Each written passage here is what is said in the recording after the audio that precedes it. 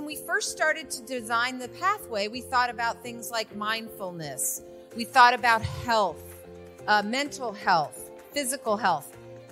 But then we started talking to the Beans, and I said, I want our first staff wellness pathway class to be financial health because I think a great deal of our stress and anxiety in our life comes from finances. If we can get our finances square and our financial health in, in check, a lot of the other things will probably fall into place.